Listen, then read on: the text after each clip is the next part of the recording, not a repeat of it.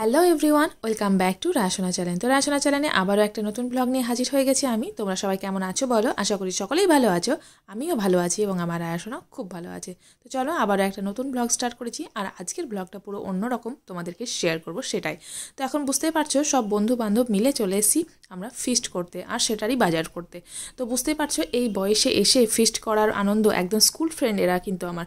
আর এই বয়সে এসে স্কুল ফ্রেন্ডদেরকে পাওয়া একটা অন্যতমই অভিজ্ঞতা আর অন্যতমই ব্যাপার। মানে তোমাদেরকে সেই ফিলিংসটা আমি শেয়ার করতে পারব না। আর সত্যি আমাদের এই ফিস্টটা প্রতি বছরই হয়ে থাকে। যখনই আমরা এই বছরে একটা টাইম দেখে সকলেই মিলেই আমরা বাবার বাড়ি যাই, সকল বন্ধুবান্ধবরা আসে সেই সময় ছুটিতে নিয়ে। তো সব বন্ধুবান্ধবরা এখন তো অনেক স্ট্যাবলিশ হয়ে গেছে, সবাই নিজে নিজের জায়গায় থাকে, কেউ বাইরে থাকে, কেউ জব করে। তারাও একটা টাইম বোঝে মানে তারাও জানে যে এই টাইমটা আমাদের ফিস্টে দরকার। তো তারা টাইম বোঝে, একদম ছুটি নিয়ে বাড়ি ফেরে সকলে মিলে। যারা বাইরে থাকে তারাও আসে কিন্তু মানে আসার চেষ্টা করে অবশ্যই। আর প্রতি বছরই এরকম একটা ফিস্ট হয়েই থাকে আমাদের। তো আমারও তাই, এই উপলক্ষে কিন্তু আমার বাবার বাড়ি যাওয়া আর সেখানে গিয়ে আমরা ফিস্ট করব। তো এরা কত সুন্দর করে এখন বাজার করছে, আর বাজারগুলো দেখো একদম বেছে বেছে বাজার করছে। তো বেশ ভালোই লাগছে দেখতে, আর এরা একদম মানে রসুন বাঁচতে বসে গেছে এবং এত বাঁচছে যে দুজনে মিলে মনে হচ্ছে সারা বছরে রসুন নিয়ে নেবে। তো যাই হোক, রসুন টসুন নেওয়া হয়ে গেছে, আর এদিকটায় আলু ধুয়ে খাচ্ছে। তো সেও একটা বস্তা থেকে আলু নিয়ে নিয়েছে এবং ধুয়ে সেটা কামড় দিয়ে খাবে। তো বেশ ভালোই লাগছে।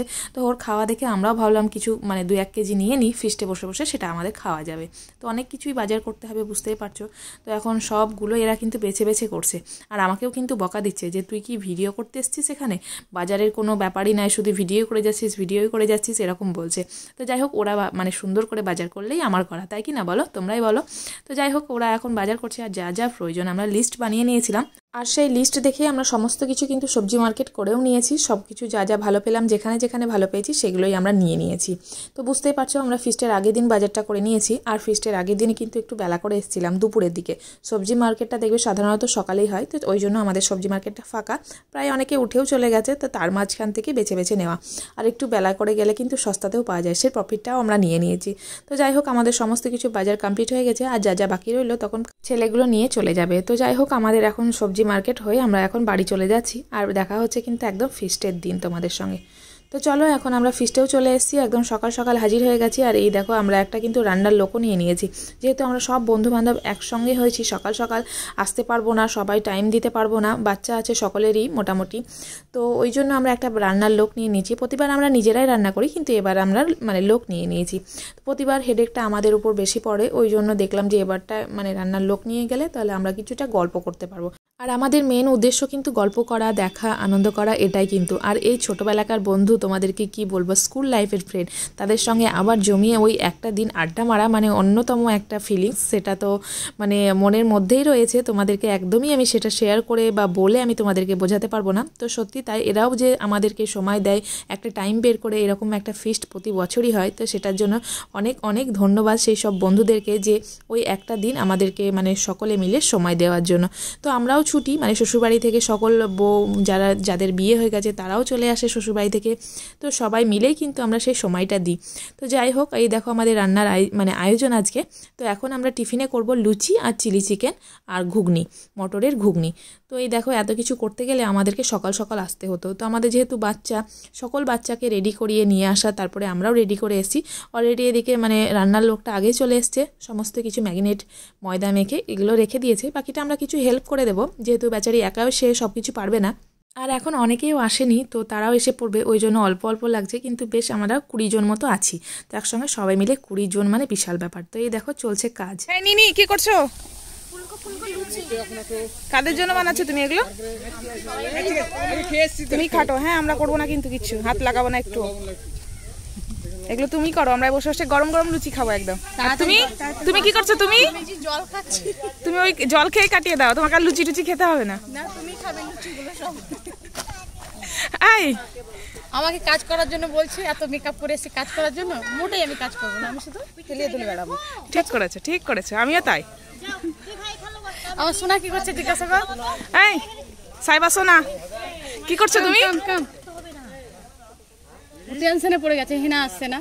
তো বেশ এখন জমে উঠেছে, আর এইদিকে আমাদের ঘুগনি তরকারি হয়ে গেছে। আর এই দেখো আমাদের মাংস মানে দেশি মুরগি। তো যাই হোক, আমাদের দুটো মুরগি মানে শর্ট পড়েছিল, তো সেই দুটো মুরগি আবার আনা হয়েছে। মোট টোটাল একদম ছটা মুরগি, তো চারটে কাটা হয়েছে। আর দুটো কাটানো হয়নি মানে তাই ও কাটে দিচ্ছে। মেকআপ করে এসে সে বলছিল, কোনো কাজ করব না। তাই কি আর হয় রে বাবা? কাজ তো তোমাকে করতেই হবে। তো এই দেখো, লেগে পড়েছে সব একদম যে যার তালে একদম কাজ আর কাজ। লুচিও মোটামুটি ভাজা হয়ে গেছে, ঘুগনিও হয়ে গেছে, চিলি চিকেনটা অলমোস্ট হয়ে যাবে। তারপরেই আমরা খেয়ে নেব দেখো। শেষকালে দেখো একদম ধীরাজ বসে গেছে লুচি বেলতে। তো মেয়েরা কেউ করছে না ওকেই করতে কি করছ? শেষকালে তোমাকে বেলতে হলো? কি অবস্থা? তোরা কেউ বেলতে পারিস না তাই এখানে? এখন থাকবি তো? মাশাল্লাহ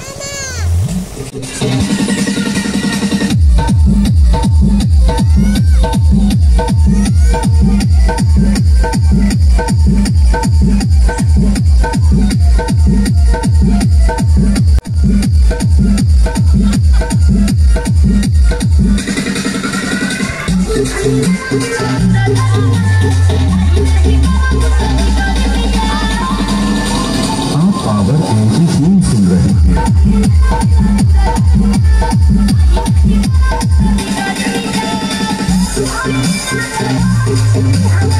তো বেশ আনন্দ হচ্ছে, যে যার তালে আছে তো বেশ ভালোই লাগছে। আর এদিকে আমি কিন্তু বকাও খেয়ে গেছি, যেহেতু আমি কোনো কাজ করছি না, শুধু ভিডিও আর ভিডিও করে যাচ্ছি।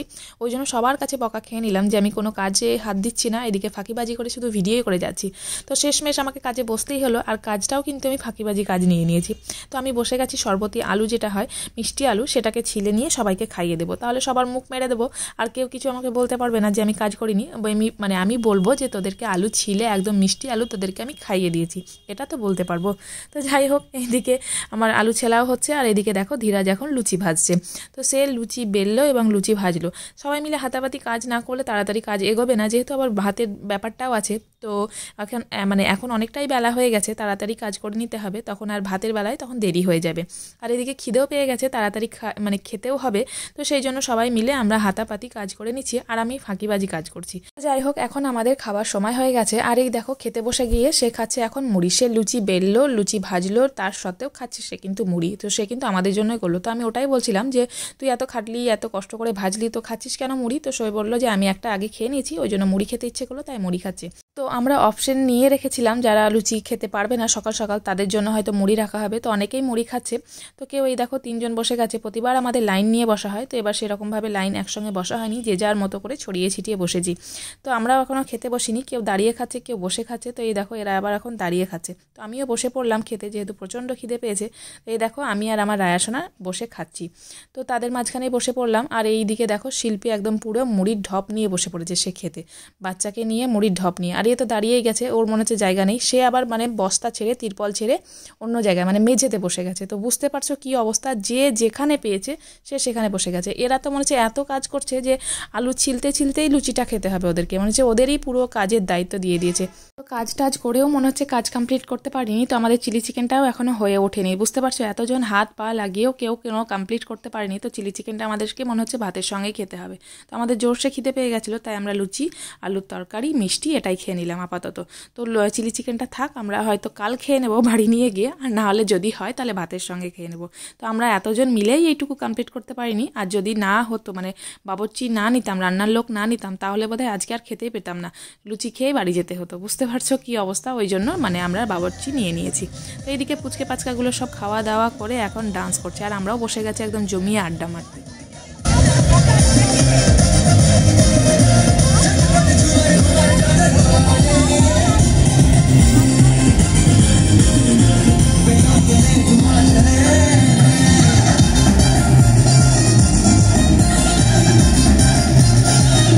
গল্প করতে করতে মোটামুটি সময় হয়ে গেছে, দুপুরের খাওয়া দাওয়া মানে লাঞ্চের সময় হয়ে গেছে। তো কখন যে সময় হয়ে গেল, দুপুর চলে আসলো, বুঝতেই পারিনি। দিনটা পুরো কেটে যাচ্ছে এত আনন্দের সঙ্গে, তো বেশ ভালোই লাগছে। তো এই দেখো, আমাদের এখন বেগুন সানা হচ্ছে মানে বেগুন ভর্তা। তো কিছু বেগুন বেঁচেছিল বেগুনি করে নিয়েছি। আর বেগুনিটা অনেক বেশি হয়ে যাবে বলে দুটো বেগুন ছিল, সেটাকে আমরা ভর্তা বানিয়ে নিয়েছি। তো এখন বেগুন ভর্তা কে যে খায় পিকনিকে, বুঝতেই পারছ, আমরা বলেই সম্ভব এগুলো।